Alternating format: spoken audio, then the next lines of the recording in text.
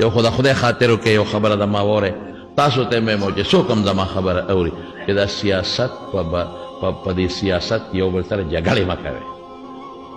اوس به کور په کور بیا جګړې شروع شي یو به یو جنډه خېږي یو بل به د بل جنډه خېږي یو به یو ته کافر او بل به بل ته کافر یو به یو ته ظالم او بل به بل ته ظالم او دنیا کې به یو بل سره جګړې جوړې شي او غم ښادی به د خلکو ختم شي خدای ته وګوره د دې سیاسي مشرانو د خاطر یو بل سره جګړې مه کوئ ته د یو بل په غم کې پکار را دی یو بل په خېګړه کې پکار را دی یو بل له مړي خخوي یو بل له جنازې کوي دغه د نه راضي ګوري دا به سره پیدا شي دوا بر دوا به کو چې بابا بابا ته واس کا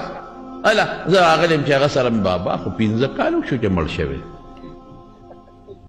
هغه پنځه کالو شو چې مړ شوی بابا ته اواز کړ او دا شوي دي یو سړی راغلی وی بابا ته اواز کوي راځي بابا له دې بوځم هغه بل ځای دی